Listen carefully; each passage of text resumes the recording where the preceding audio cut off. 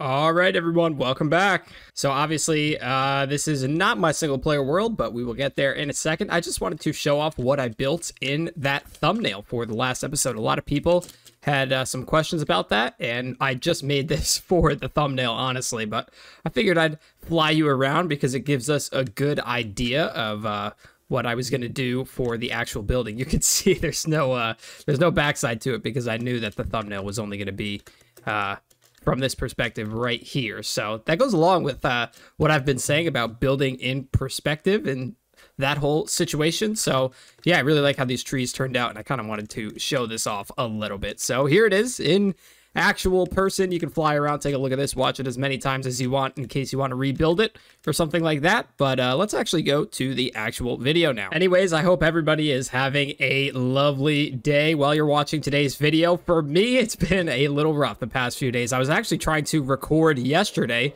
and what ended up happening was I went to the dentist and they gave me a few shots in uh, my mouth and around my teeth, and so my whole face was numb yesterday, and I couldn't really talk all that much. It was kind of funny, to be honest with you. Um, I was saying things like "sawy" and uh, all that type of thing. I couldn't say the word, the the letter R, so it was quite hilarious. But anyways. Uh, I'm back to being able to speak again, so we are filming, and I really wanted to get this episode out because it seemed like you guys really enjoyed the last episode and that thumbnail. So I want to start actually creating that now. I think it's going to be a lot of fun for us today. So we're going to head over there and probably build a few trees, I would imagine, and uh, we'll go from there.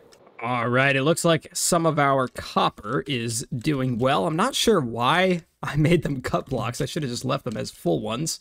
We would have gotten this done much quicker had I not done that. But one thing I have to mention, guys, it is so hot today where I am at. It is 92 degrees, and in the northeast of the United States, that means it is very humid as well. So I am absolutely sweating buckets right now recording this video. I was just outside mowing my lawn. So um, I've come back in and started recording this immediately, and it is uh, quite warm. All right, so this is a new technique that I wanted to try. I have never used this in a build before, and I really wanted to give it a go here. So we have this five block gap right here. I have to sneeze so bad. Whew. Oh man, uh, five block gap right here, which means we can do a three window. And then what I wanted to do right here was make a box like this with the diorite walls. Now, this is going to be quite interesting. Oh, I feel another one. I think I just ate a bug. Oh, man. Wow. Okay. Yeah, the allergies allergies are definitely kicking in right now. Wow. we have this um I'm just going to make it all out of diorite for the time being. Uh, but basically I was thinking about this in a dream actually, and that is that this kind of looks like some sort of a pillar when you stack them up like this, kind of push out like that when you use the walls. And so I figured that we could actually do what I'm doing right here, which is put this on the corner like so, and that that kind of gives it that really cool um you know, boxy feel. So what I do is uh, then do the gradient that we did here. Obviously, we have these. Oh, whoops, that was an accident. We have those uh, stone or the uh, the tuff bricks with the tuff, and then the smooth stone, andesite, calcite, uh, white wool, and the diorite. Um, and so I kind of would just repeat that here, uh, but that just adds more shape to the build. And I think if we take those and we actually make those um, the highest pillar and then take this tower and taper it in a little bit. I feel like that would look really cool. So we might try something like that. And I want to fill in this wall right here too so you can get a visual. All right, I actually did not know that um, the uh, smooth stone doesn't have walls. I can't believe I actually did not know that. I thought for sure there was a wall variant of this, but there's not. So I think we're going to uh, trim this down a little bit to some different colors. I keep destroying the tuff blocks by accident. Stop it. Go back. There we go. Okay. So we'll dig up like, I don't know, this many blocks is fine. And we can just kind of do something like that. We'll alternate it, the one right there. And then we'll take, uh, I think we'll go andesite first here. And droop those down like this. And then we'll kind of just follow the same pattern.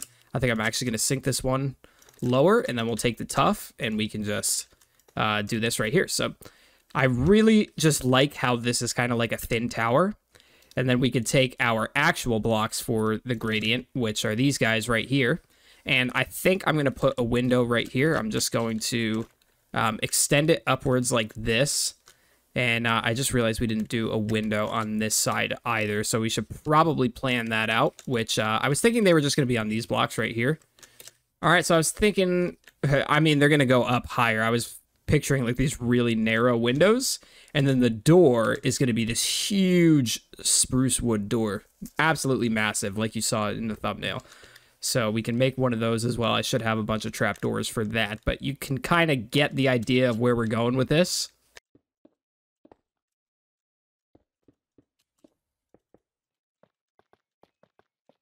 Okay, so you can kind of see what I did here. I made like a rib cage, if you will, out of this dirt. So now we have a much more sloped hill. So this is what the intention was. But we obviously have this whole area over here that is like completely sloped off. So I think what I'll do is make a custom cliff and kind of like have the uh, the grass, if you will, like overhang a really nice stone slash rock structure with a bunch of foliage around it. I think that'll look really cool. And maybe perhaps a hidden cave or something in there. I feel like that could be nice. I've done it again, haven't I? Wow. So I guess the next part of all of this is just to uh, kind of fill in this whole area. I think I might just have enough to get it done, but it is going to take a while. So uh, four stacks definitely isn't going to do it, but we do have a whole double chest over there full of dirt. So that I just threw out the wrong thing. Okay. All right, it's kind of rough right now. Obviously, that have not finished, but we have a much more um, easily sloped landscape in which we can uh, set up our trees and stuff. So the other half of the building will obviously be right there. So our center point is somewhere around here. And so I want to have this path that kind of snakes its way up here. Uh, and I obviously want a lot of those yellow and red autumn, autumn, just said that like I'm from New Jersey. Um, a lot of these red and yellow autumn trees, and uh, we can put lots of those up, which I think is going to be very nice. So I say, let's honestly build some trees right now. I feel like doing that. So we've got to get a lot of wool a lot of glass and yellow glazed terracotta. Where am I going to get that from? I'm sure there's a mesa nearby if, from my memory. So time to do some resource gathering. Let's go.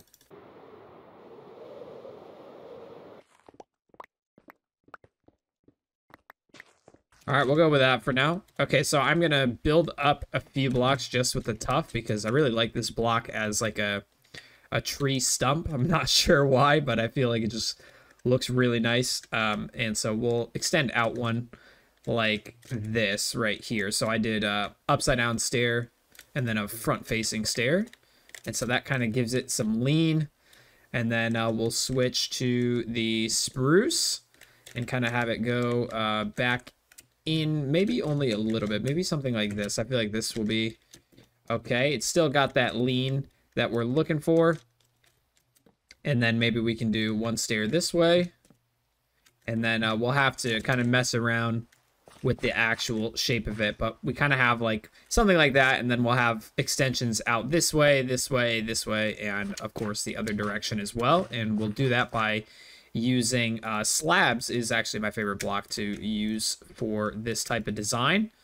So let's grab our scaffolding here. And I'm actually going to replace um, some of the blocks that we put in the middle with uh, some stripped wood. So we can go in there and uh, let's get ourselves situated here. I'm a little misorganized. Okay, so we can place that and then go like this and take our stripped logs.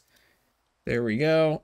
All right, let's take our stair and place like so. And then this is where we can start bringing in the slab. So I'm going to have this slab extend outwards like this. And I think I'm going to have another slab over here. And this one is uh, just going to go outwards like this. I don't want it to be too crazy. Then we're going to have one placed diagonally. And uh, I'm going to delete these ones that are going like this. This is just to uh, place it sideways. So I feel like that's a good length. I don't know why I did that extra one. But then we can delete those ones on the corner like that. So we get something like this. I feel like this one should kind of honestly be over here. And I might actually bring this up now that I think about it. Kind of something like that is pretty okay. I'm going to add some more of them, but just to add a little bit of depth to the actual, uh, whatever you would call this, uh, the branch, not the branch, the, the, blah, blah, blah, the trunk. There we go.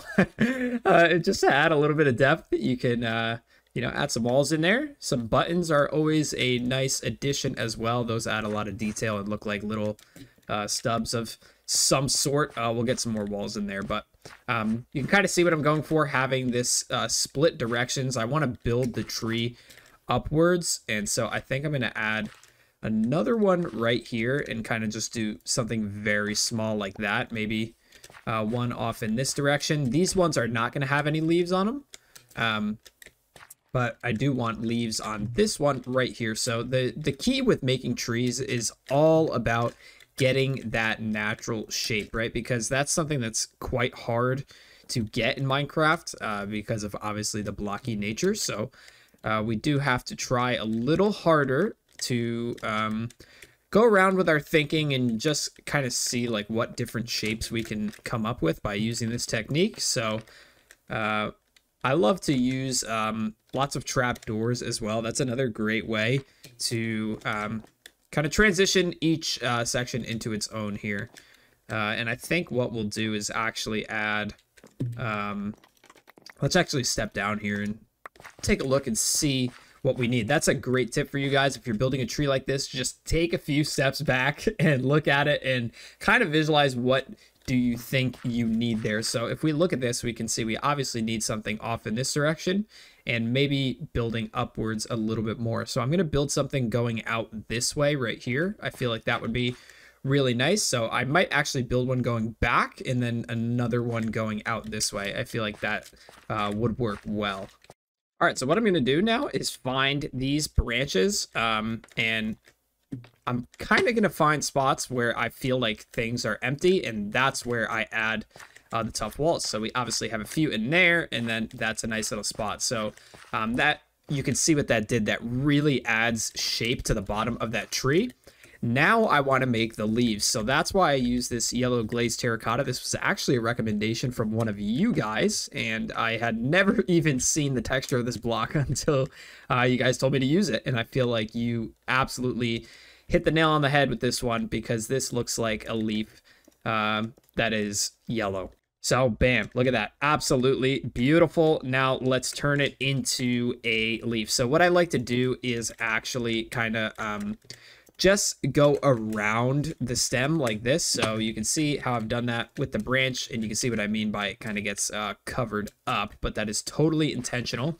So obviously that looks very goofy, right? But that's just our base. Now what we're going to do is kind of if you could picture making a cylinder around this and just kind of shaping it off and giving it some more uh, spherical shape, if you will. Uh, and I like to do that by going towards the middle here. We have this middle ring and just going around that middle ring until you feel like it is um, at an acceptable size, which I feel like this should be pretty good right here.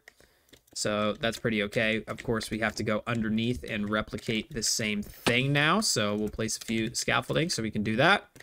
And we'll get underneath. And now we have uh, a cool little shape like that. So that's always uh, a very easy way to create some leaves. And then what I'd like to do is go in there and add a bunch of random shapes afterwards. So you can see that makes a nice spherical circle around that tree. And basically we're going to do that for every one of these branches until they all get covered. And then we go through with the glass panes and the yellow wool, red wool, all those different colors. And that's how we get that tree that was in my thumbnail. Okay. I figure we would do a little bit of designing on this side. I still haven't finished the whole thing yet, but I will wait. I can't, I can't get anything right in this whole segment. Okay. I figured we would do the actual uh, little bit of designing part with the glass panes and some leaves. And so you're going to see how that's going to transform this tree in a very good way. And so what I like to do is um, jump up here with the scaffolding and take these oak leaves and on the corners like this is where I like to place some of these blocks because I feel like they um, just make it look a little bit more like a tree that's the wrong thing. Uh, when you have the leaves there, because uh, I don't know, they just kind of poke out a little bit, and it, it just looks quite nice in my opinion when you have them on the corners like this. You don't want to overdo it because we want our tree to be primarily yellow. But especially on corners like that and down here, definitely one in there. If I can get up there, that's a little bit of a tricky spot to get to. There we go. Um, and I just like to add them every now and then. I feel like it just creates a really nice uh, color palette with that green in there. So I don't do it all the time. Uh, you can see that was very sparse. Um, and I would actually like to add a little bit more yellow blocks in there, uh, but we will do that in a second. Now, uh, if you really want to get that autumn feel, I found that using these glass panes together, which are the orange, yellow, and red, uh, they really stand out and they kind of blend all those colors together, especially if you do it in the correct uh, color pattern, which is the red to orange to yellow. Um, so we're going to use a bit of that here with that technique and use that shading. So um, we'll try it here on the bottom. I do like to um, actually hang them down sometimes. So on this one, sometimes I just kind of like drop them like this. The yellow works really well. Um, when it's up against a block like this, I think, in my opinion, because it kind of blends in. And the orange is really good for a darker one. So you can honestly do some really cool stuff like having the orange, or uh, excuse me, having the red go into the orange like this, because then you kind of get that gradient like that right there. So that's like a cool technique you can use. Um, you can do what we said, where uh, you kind of have it go from red to orange to yellow and then uh, you know maybe the yellow hangs off and you kind of just brush that in there. And so the the cool thing about this is that you can kind of use them wherever you feel like there's not enough color. That's like the the way that i like to do it um, definitely not there because those are going to connect. I did not realize that, but I do love to hang them off and put them in corners like that. Especially when you put them in the corners, they tend to connect to each other. And then if you want things to extend outwards, like you can add some red in there and that like extends a leaf outwards. And so uh, definitely some orange down here I feel could look really cool. And uh, yeah, you kind of just repeat that all the way around and uh, definitely add some different yellow and red blocks in here to kind of get some really cool feel. So I'm going to repeat that a bunch along here and you're going to see how that transforms the tree. All right. And how about that? I really love how that turned out. Isn't that so cool? It looks like a tree made of gold, and that's what I love about it. And then I did this kind of little sprinkling of leaves down here on the bottom. I feel like this looks really cool. Oops, I forgot a block. Nobody saw that. Anyways, I'm really happy with how this turned out. I think that's so cool, especially the use of the glass panes. I don't know, something about it for me. I just really love using glass panes. But you can see the um, the yellow wool I kind of threw in there. There's some glass blocks, and I really think adding those leaves kind of helps identify it as a tree a little bit better. It, it just gives it a little more of that nature look. So I'm really happy with how that tree turned out. So basically, I'm just going to remake that a bunch of times. But I would love to um, figure out and sort out the rest of this face right here. So let's try and uh, figure something out there. I think what I'm going to do is design some windows and then maybe a roof, and we'll go with something like that.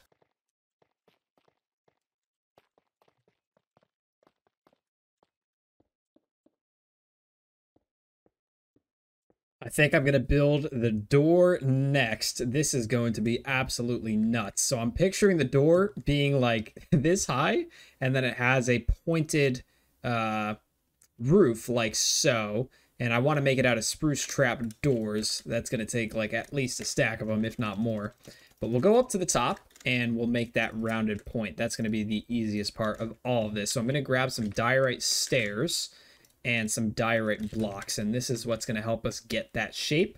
I'm going to go one in from the wall, like you've seen right here. Actually, I do want that block. I think this is probably a good height, right? I feel like this is decent right here. And so we'll step in, and this is where we've got to go from. So I think I'm going to pick right here. And I'm going to place my two upside down diorite stairs. And then I think I'm going to go up one for each one. So I went up one that time. And then I'm going to go up one again. And that's where I'm going to place the stair.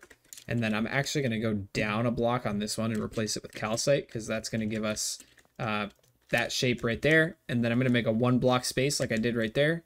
And bam, upside down diorite stair there. And then just fill the rest in with calcite. I'm planning on making a window here, but we'll just leave it like it is for now. And you can see once we jump down, you get this sick uh, archway right there. That is exactly like what I'm going for.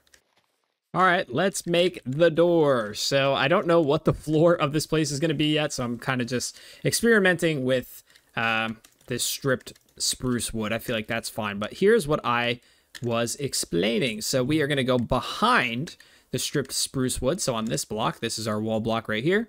Go behind one, and I'm going to place a whole bunch of trapdoors along this. So our our actual door is going to go on this block. So I'll just do this for now. Might change later on. It's just temporary. Um, and so we have our door so we can actually get in. But what I'm going to do is take these spruce trap doors and stack them on top of each other like this. And we're going to do this all the way up to there. So hopefully I have enough. It's going to be so many, but you can see in the end, this is going to create a really cool door. Wow, that's actually remarkable. I made just enough well, if you're remaking this door, you need a stack and 18. All right, big reveal. Oh, man. That is so cool. That is so cool. I love it, dude. I absolutely love it. Oh, man, it is coming together, isn't it? I am absolutely in love with how this is turning out.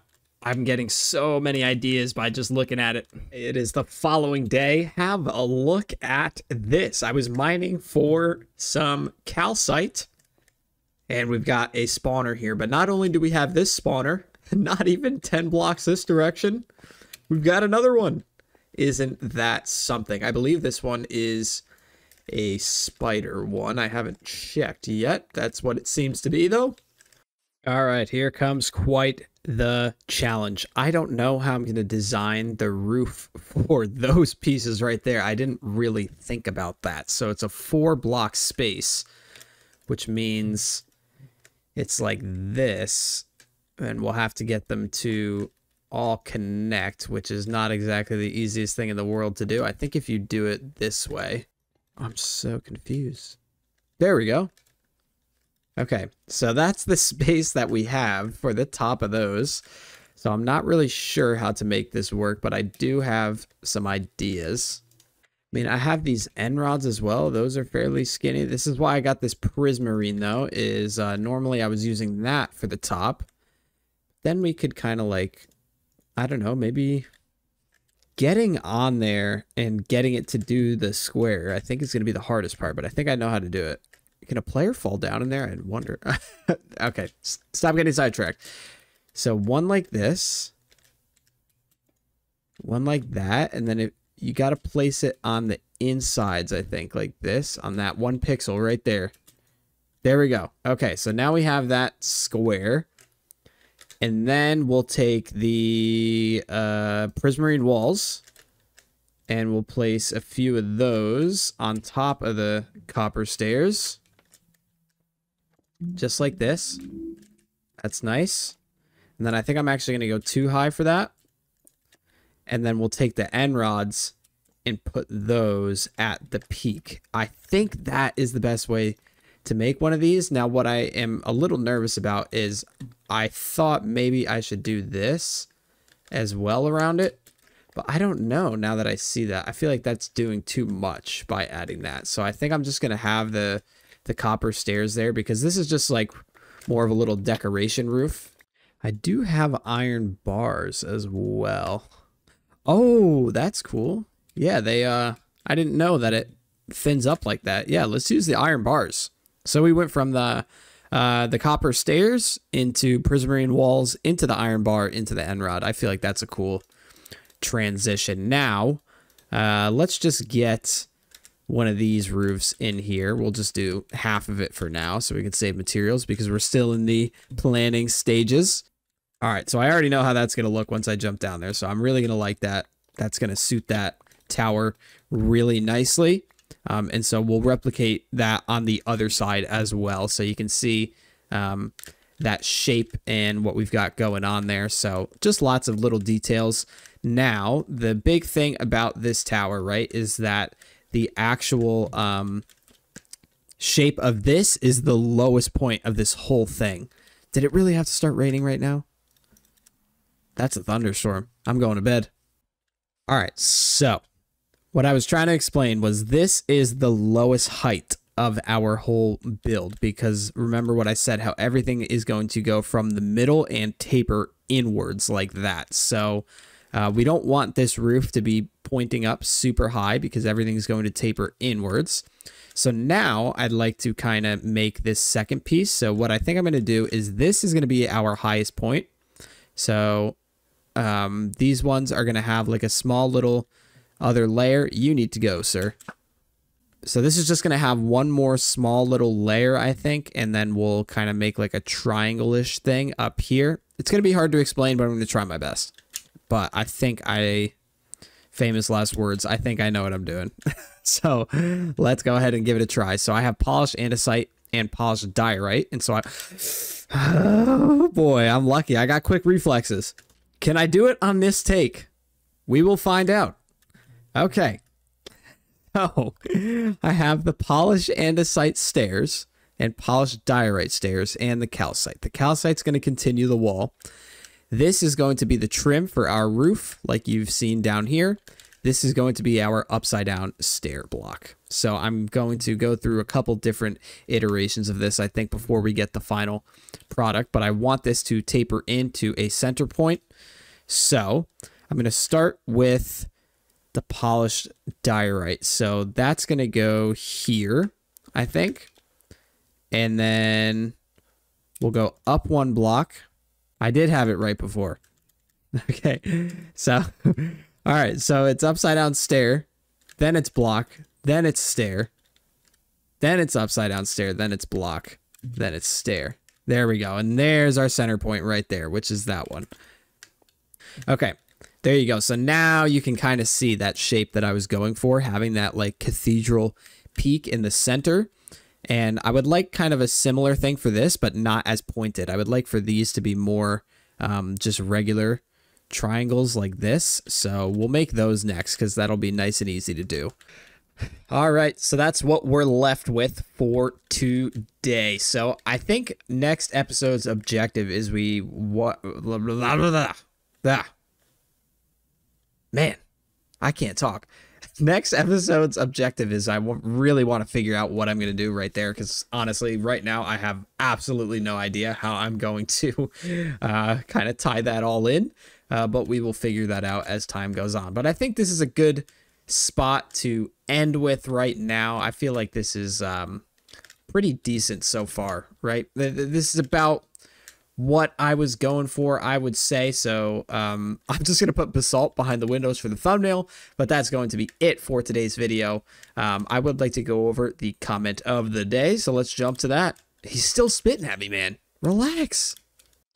So today's comment of the day comes from Le Chat Pote. That is how I'm going to pronounce that. I have no idea how you actually say that.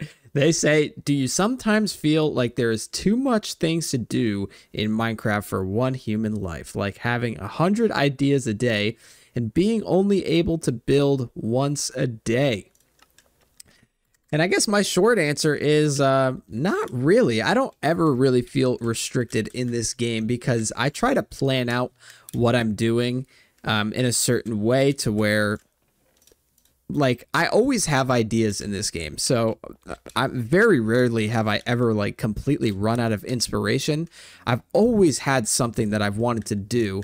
It's just a matter of if I want to spend the time to actually do it. Now I guess that ties in with your question. Um, sometimes it feels like there's not enough time in the day to get what I want to do done, but for example, this build, I'm not really forcing myself to do it in a certain time period. So I'm kind of just doing it whenever I want to. I work on it whenever I want, kind of just, you know, do whatever it is that I feel like doing around here in no sequential order. And I feel like that allows me to kind of get done what I want to do in one day because, um, let's just say I wanted to finish the roof today if I don't finish the roof today, then that kind of makes me feel a little bad about myself of like I did I wasn't able to get that done and it makes me not want to play because I just realize how much work I have ahead of me. Whereas if I do it like little steps at a time and I'm just doing, you know, one little project at a time like you saw me work on so many different things today, it's kind of just like knocking out one little step at a time instead of this whole huge project. So I think it's all about the perspective of how you look at it. And um, I don't feel like there's too many things to do in Minecraft at all. I feel like it's all about how you decide to play the game and what you choose to do that dis- that um what's the word I'm looking for? Like determines what you're going to play the game like, I think is the best way to explain it. If you see it as a game that needs to have every achievement accomplished, then um, when you play it that way, once you uh, accomplish all those achievements, there's nothing left to do, right? you just uh, you completed everything, so that's the end of the game. Whereas if you play it in the sense of like it's artwork or something, there's never an end to it because art is an unlimited thing. There's you have unlimited ideas that you can come up with.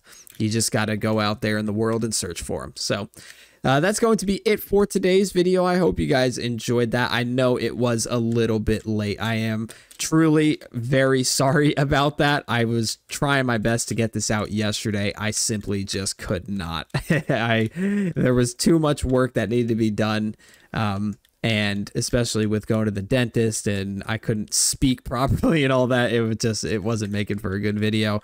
So, anyways, yeah, I think that's just about it for today. We don't need to continue on with what I'm doing here. This is just for the thumbnail, but I hope you guys enjoyed. Thank you so so much. I'll run around to the front so you can see it one more time here. Anyways, I believe that is going to do it for today's video. Thank you guys so much for supporting the channel. You are greatly appreciated.